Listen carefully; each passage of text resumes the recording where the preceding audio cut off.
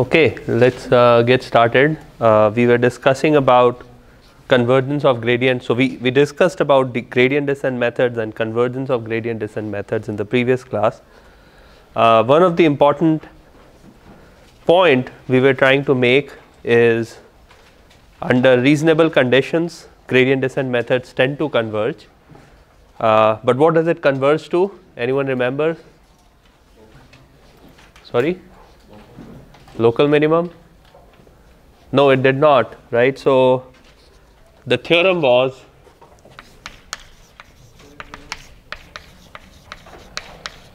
reasonable assumptions plus dk gradient related to xk imply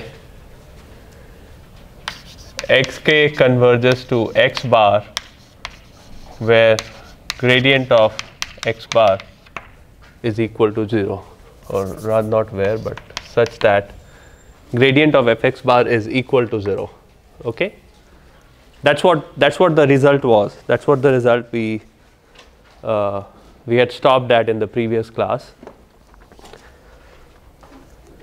So, these reasonable assumptions are assumptions about alpha k, assumptions about the function. So, the function should be Lipschitz continuous or the derivative has to be Lipschitz. Uh, what else? Yeah, so the decay or, or so there are uh, assumptions on alpha k, there are assumptions on dk, not dk sorry, uh, assumptions on alpha k, assumptions on the function and that is it yeah. So, these reasonable assumptions are assumptions on the functions uh, on the gradient of function and on alpha k. So, those were the things we had studied. So, how to pick alpha k, how to pick dk and so on. But we also wanted this, we also need to have this fact that dk is gradient related to xk which means that if xk converges to non-stationary point then dk has to be bounded and it, sh it should have a, a, negative inner product with the gradient of fxk. Okay, so if this condition is satisfied which was satisfied by most of our methods, most of the methods that we talked about, the next k would converge to a point guaranteed such that the gradient of the function at that particular point is equal to 0. Okay. Now, if the function f is convex, we are in good shape because we know that x bar is the global minimum. So, if f is convex then x bar is global minimum. Okay. If f is non-convex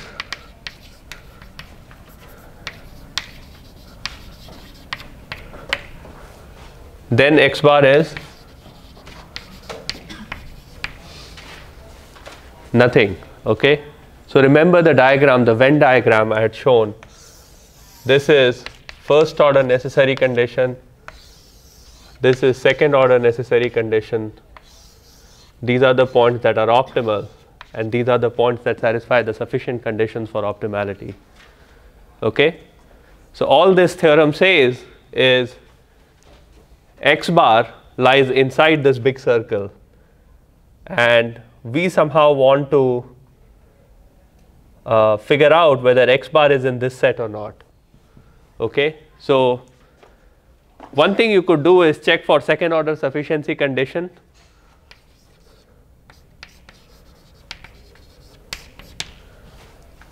So, if fx bar is strictly positive, then x bar is a local minimum. Okay, so checking this condition is required after the function after the gradient descent method converges.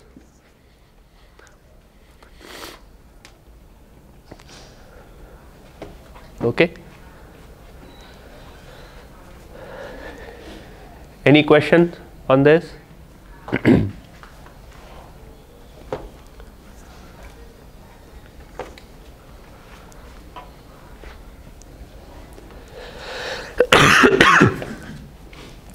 now let's talk about the Newton's method and the convergence property of Newton's method.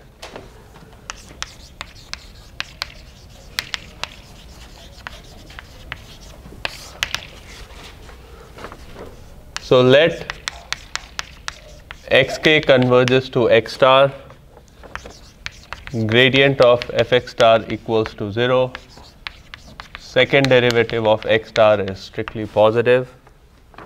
And limit k goes to infinity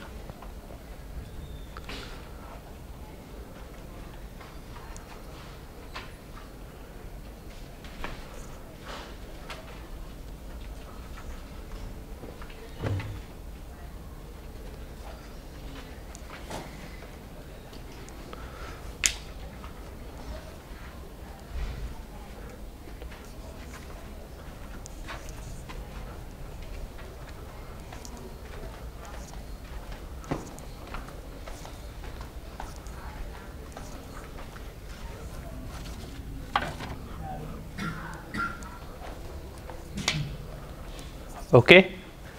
So, this is the convergence result for Newton's method, but it's not exactly like this. So, what it is saying let's let's try and figure out what this is saying.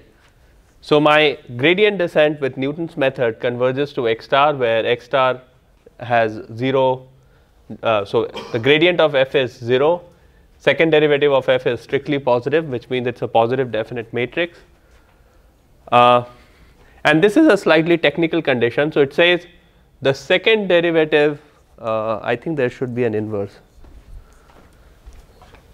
inverse.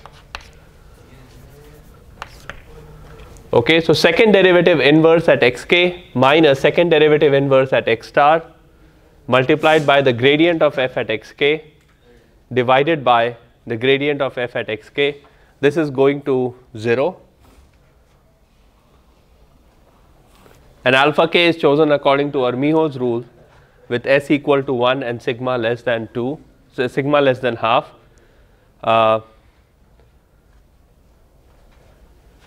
okay, so this part of the assumption is clear. This part of the assumption just wants to ensure that you are converging to a local minimum. But what is this part of the assumption saying? It says that the curvature of f at x star should be very similar to the curvature of f at xk okay, for k sufficiently large. Okay. So, you do not want a function whose curvature changes very rapidly around x star. You want function whose curvature are very close to each other around x star. So, if this assumption is satisfied and this is of course Armijos rule, then xk plus 1 minus x star divided by xk minus x star is equal to 0 for k sufficiently large. Okay? So what does this amount to? This is saying that xk plus 1 minus x star is roughly equal to some constant c multiplied by xk minus x star square plus some error, small error. so if xk is very close to x star, then xk plus 1 minus x star is going to be order of magnitude closer. xk minus x star equals to 0.5 then xk plus 1 minus x star 0.25 and so on. The next one will be 0.0625. The next one will be, so this is xk plus 2 minus x star and then xk plus 3 minus x star will be even smaller. 0.0036 or whatever 40 and so on okay? So it converges this is known as superlinear convergence which means it converges very very fast as soon as your xk gets closer and closer to x star okay which one? This one? Yeah, uh, yeah, this is equal to 0. Okay? It's because this term is going to 0, right? And this error is also going to 0 very quickly. So that's why it's written in this particular fashion. This is an approximate relationship, not an equal equality.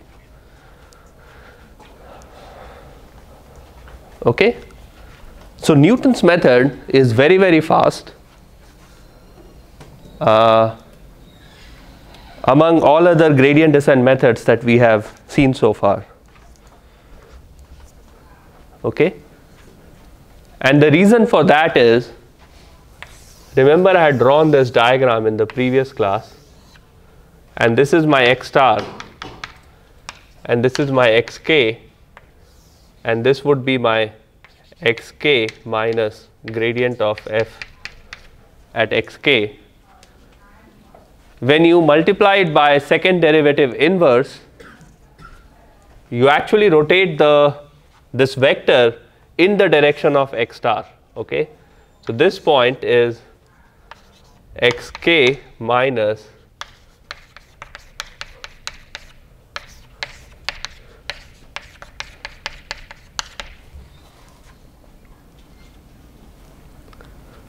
Okay. Yes. Uh, in that uh, equation when xk plus 1 uh, on the right side, uh, why is there second norm there?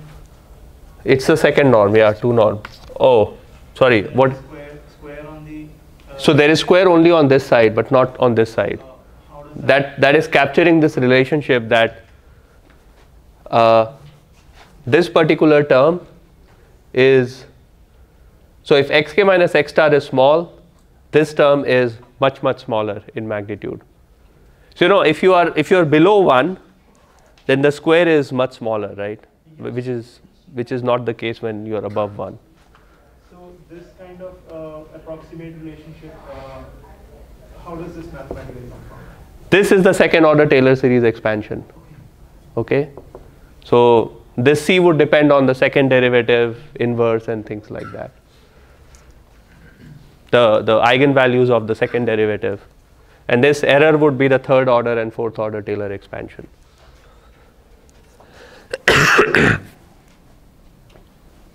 okay, yeah, So you said something about uh, x when the error is really small. Yeah. It converges really fast. yes, You said what super something? Super linear. Okay. This is known as super linear convergence.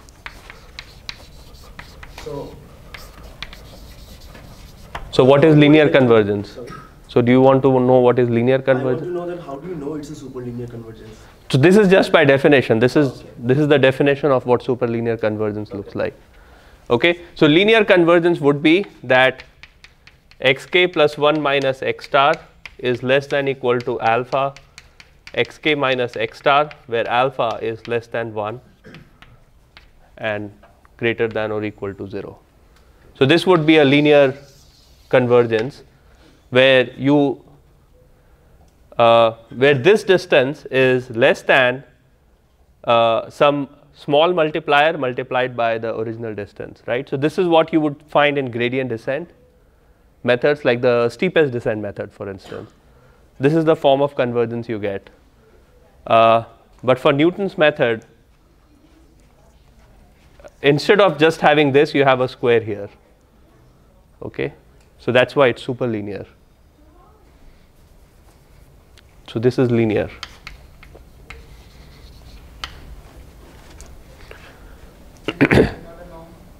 Sorry? Usually it's 2 norm in most of the cases. Okay? 2 norm, 2 norm.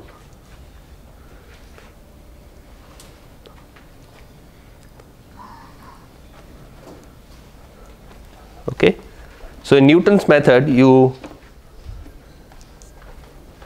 you rotate the vector, the gradient vector in the direction of x star because you explicitly take into account the curvature information of the function. So curvature is usually, I mean, second derivative is usually also termed as termed as curvature of the function.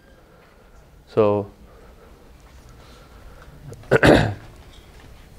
So this is why Newton's method is much much faster than steepest descent.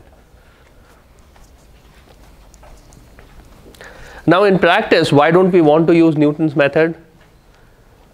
Because it's really hard to compute. It may be very hard to compute, yes. So many a times you are running optimization over 100 dimensional or 200 dimensional or 500 dimensional or sometimes even a million dimensional variable and so computing a million cross million matrix and then inverting it is a big challenge. So you don't want to use Newton's method. So, but for problems of reasonable size and where second derivative is easy to compute, then you would like to use Newton's method because you know it's going to converge very quickly to the optimal solution. Well, you don't know whether it will converge to optimal solution or not because all we know is it will converge to stationary point. So, if f is convex then certainly it will converge to the optimal solution. Any question? Yes. What if the function has a lot of global minima? Then how do you avoid this? Uh, lot of global minima. Oh, yeah. Uh, so usually, let's say you have a function that looks like this, right? If you start from this point, you will end up coming here. If you start from this point, you will end up coming here and so on. Okay, so this particular area is known as the basin of attraction for this particular minima. Okay, so no matter so your entire space is divided into different basin of attractions, and so if you start in that basin, which you wouldn't know which basin you are starting from, but if you start in that basin, you will converge to the local minimum in that particular basin. Yes. Does this result change if you use different methods for choosing alpha k? So I, I don't think that the conclusion will change significantly.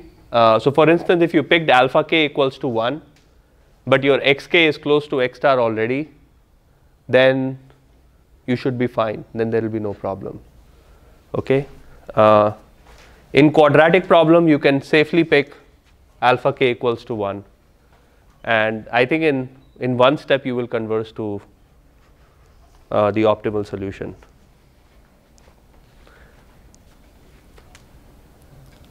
Yes. If if you use gradient descent, will you worry about like overshooting if you have a fixed learning rate too bad? Yes, yes. So if you don't pick your learning rate to, so that's why Armijo's rule tries to avoid that situation.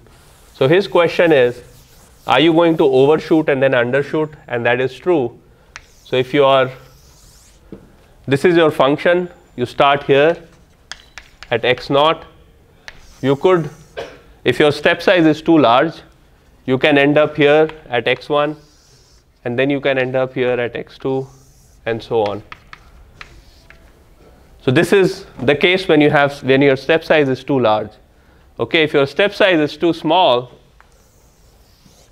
you will start from x0 and then you will get to x1 and then you will come to x2 and then you will come to x3 and so on. Okay. So you don't want to pick too large of a step size, you don't want to pick too small of a step size. So how do you come up with the the best step size possible? Well, Armijo's rule attempts to do exactly that. Okay, tries to iteratively pick a step size which is uh, which is good for that particular problem.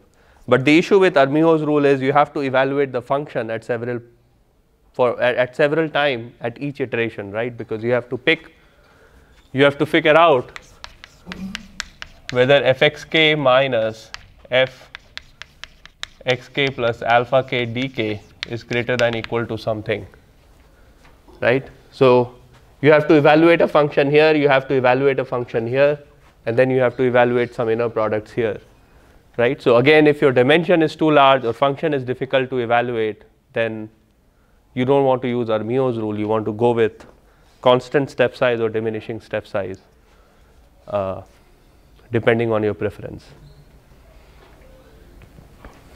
Any other question?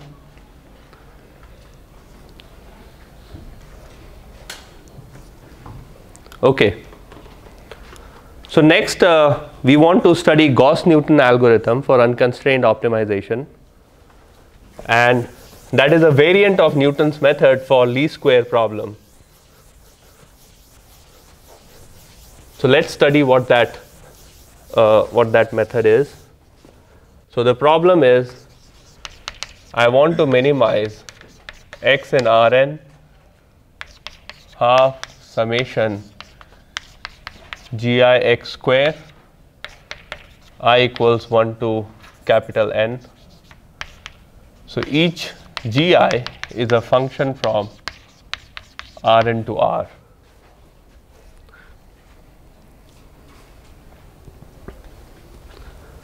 This is known as least square problem.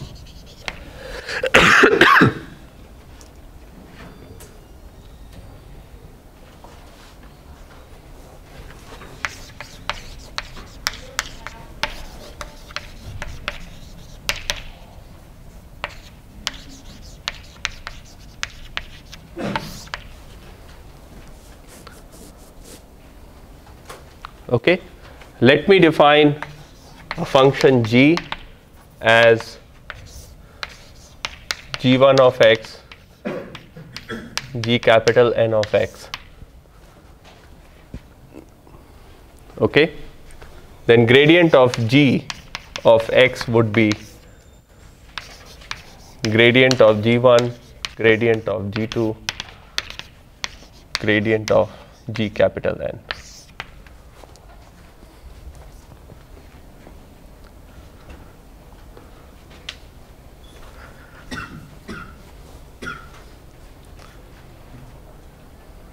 okay and the other thing is this half summation of gix square can actually be written as half 2 norm of gx square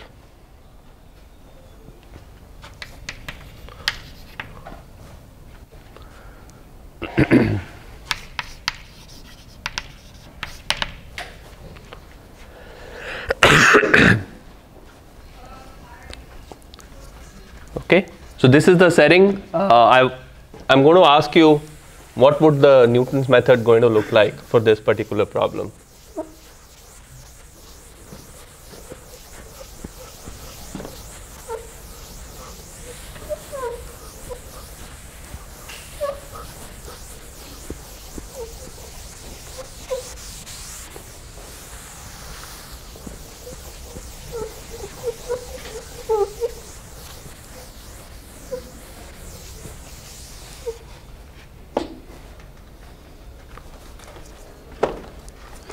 So if I want to apply Newton's method here, uh, I need to find the second derivative of this function, right?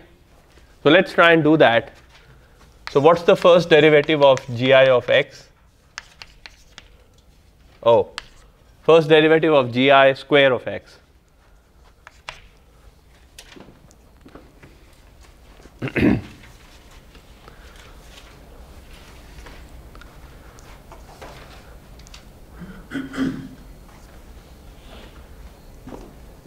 anyone wants to attempt this question?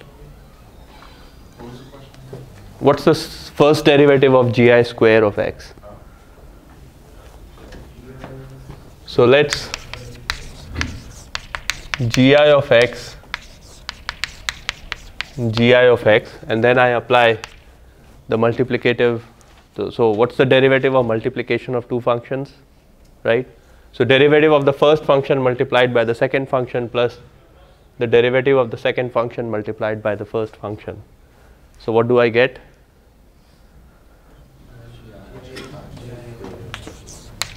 gi of x gradient gi of x this is in Rn. So this is a real number and this is a vector. So a real number multiplied by a vector gives you a vector in Rn. Now comes the more difficult part, second derivative of this.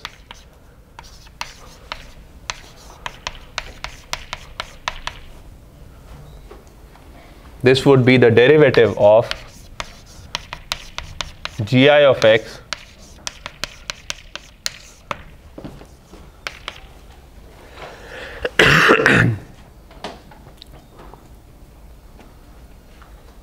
okay so this uh, is not so easy to compute. I mean it's not intuitive but you get a similar result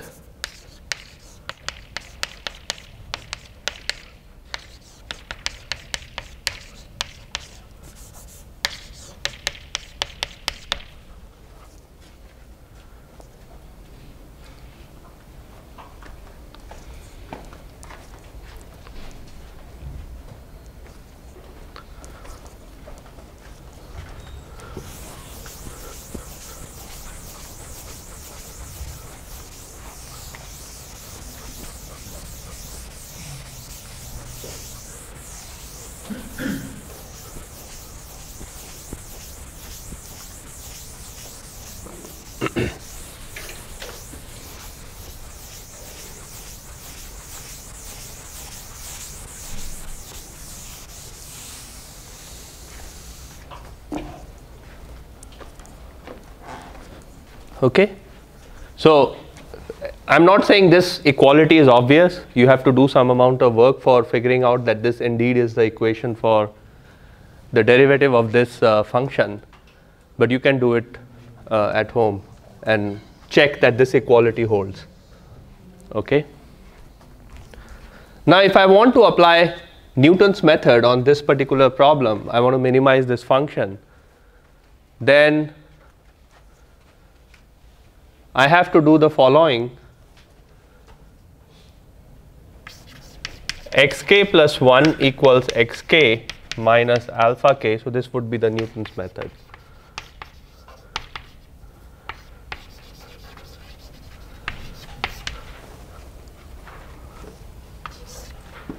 This whole matrix inverse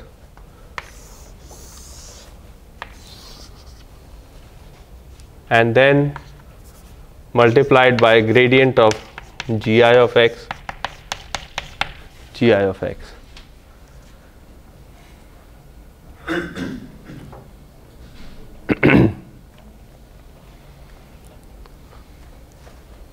Okay so this is the second derivative. Uh, you need to have a sum sorry there is has to be a summation because i'm missing the summation here. So i equals 1 to capital n and there will be i equals 1 to capital N gradient of gi of x.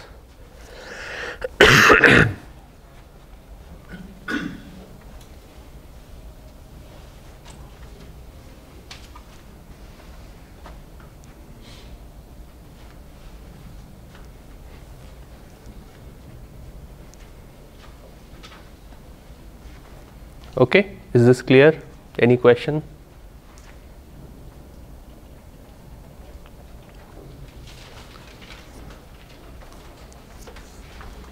Okay, so this is the objective function I wanted to minimize. I wanted to apply Newton's method on this particular problem. So for Newton's method, I need to first find out the first derivative and the second derivative of this objective function. So, the first derivative was easy to compute, second derivative required a little bit of leap of faith okay, on Bertsekas. And so, we took the leap of faith and then we wrote down the recursion for Newton's method for this particular problem. You can pick alpha k according to whatever is your favorite method. So, in order to compute this expression, I need to know the function. So, this should be xk by the way and this has to be evaluated at xk. So, I need to know the function evaluated at xk. I need to know the derivative evaluated at xk. In order to compute the second derivative inverse, I need to know the derivative at xk and then I need to know the second derivative at xk. Okay. So, in total I need gi of x, I need gradient gi of xk, I need second derivative gi of xk. These are the three information, three things that I need for every function i. Okay. Let us say I give you this problem and I ask you, can you come up with an approximation so that we do not have to compute too many things. Okay. So, this is in real line, this is in Rn, this is in R n cross n. Okay. So, there are a total of uh, n square terms that you need to do for computing second derivative. So, if I give you this problem and I ask you to make an approximation, what term would you like to drop in this whole in this whole computation? Second derivative. So, how many of you are in favor of dropping second derivative? Only a few people. How many of you are in favor of dropping the first derivative? No one. How many of you are in favor of dropping the zeroth derivative? Well, this is just a function evaluation. No one. Okay. So it seems like you know this is a democratic country, democracy wins. So let's drop this second derivative term from this whole expression. And then what do I get? I get Gauss Newton. See, you guys are already thinking like Newton did and like Gauss did, so it's a good sign. I'm glad I'm able to accomplish that in like four lectures. okay, so xk minus alpha k summation i equals 1 to capital N gradient of g i x gradient of x k transpose inverse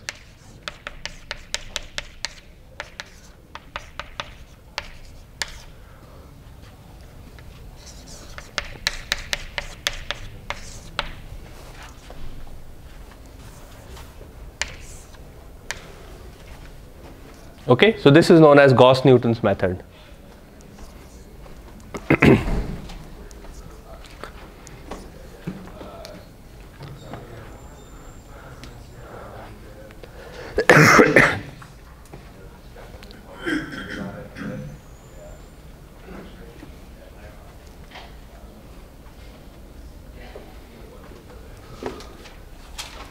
yes. Uh, how do you make sure that uh, after dropping the double derivative, it is still a positive definite matrix? Ah, that was my next question to you. How would you ensure that this is positive definite?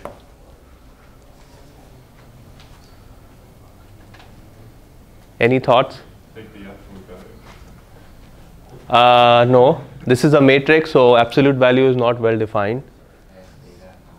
So it's one matrix times uh, another matrix transpose, so it has to be.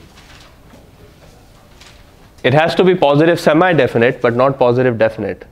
So this is of the form A A transpose. So A A transpose is positive semi-definite. It's actually a rank 1 matrix, but it's not a rank n matrix. Okay. All right. We'll get to it in a bit. Think about it. Okay. So this is my Gauss Newton's iteration.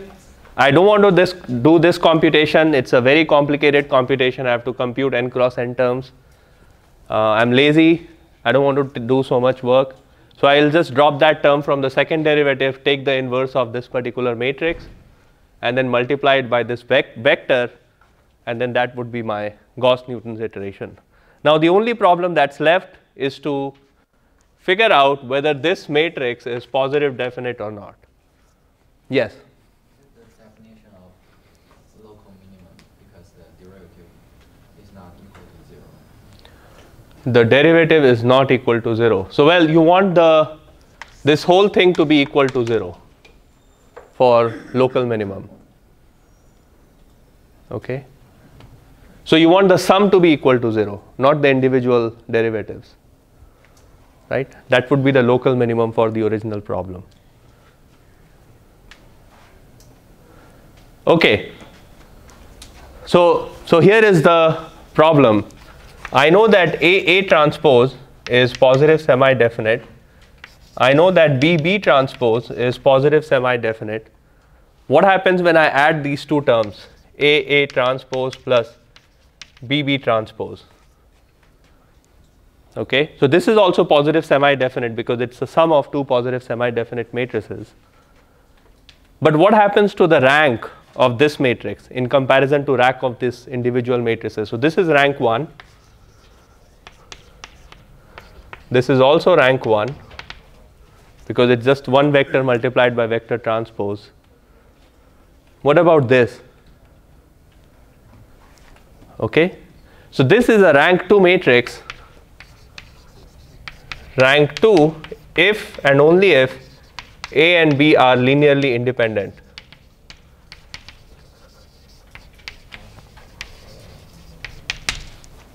Okay. So, if A was equal to B or A was equal to lambda B, then this will also be rank 1. But if A and B are completely different, then this is a rank 2 matrix. Okay, because it's sum of two rank 1 matrices, so it's a rank 2 matrix. Now, when will it be a when will this vector be a rank n matrix, which is a full rank matrix, and that will be a positive definite matrix? Well, that will only be rank 1 if each of these gradient of gi are linearly independent. So, let me write it down. This is positive definite if and only if gradient of g i x i equals 1 to n are linearly independent.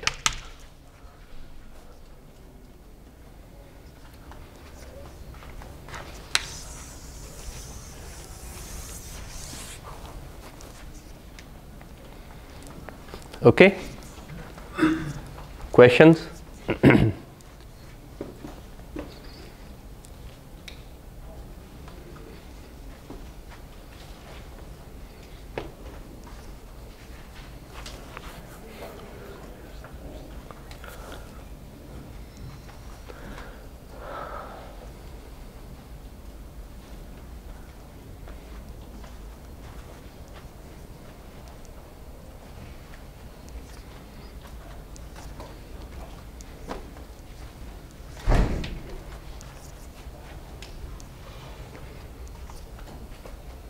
Okay, so let's start again.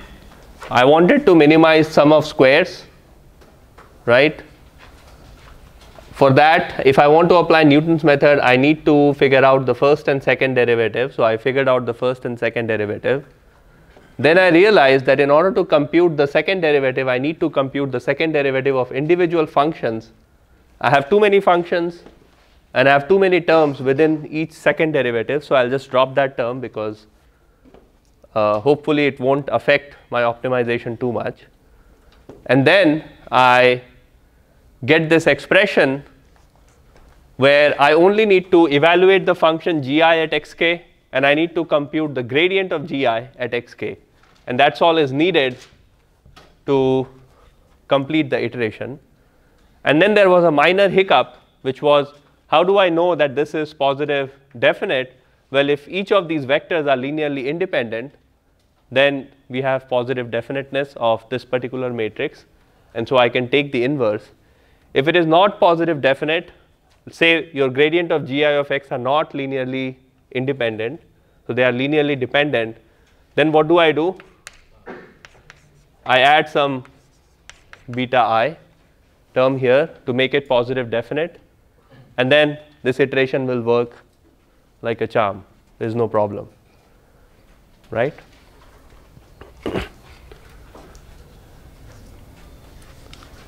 So, I will remove beta i here, but I will write it uh,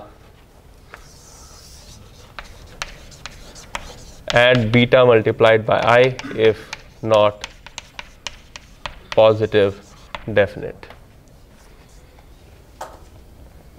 Okay.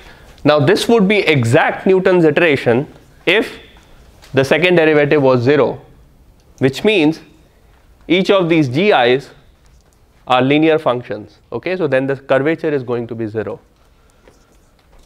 So if uh, gi of x equals to a transpose x plus c, where c, c so so ai transpose x plus ci, so ci is in R, ai is in Rn. Then the second derivative of gi is equal to 0 and so this would be exact Newton's method for that particular case.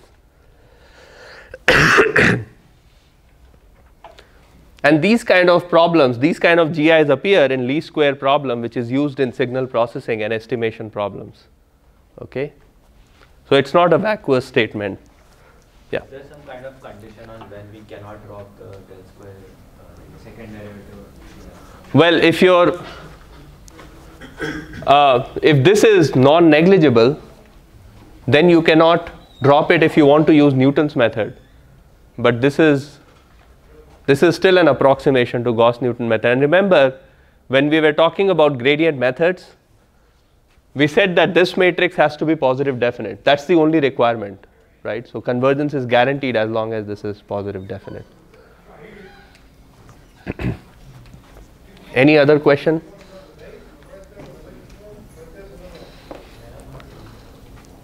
Okay. So that's all I had for today. I want to give my throat some rest and then we'll talk about conjugate gradient method in the next class and uh, yeah and then we'll talk about some other methods approximate uh, Newton's method in the subsequent classes perhaps next Friday. Alright, so thank you all. I'll see you on Wednesday. Have a great weekend.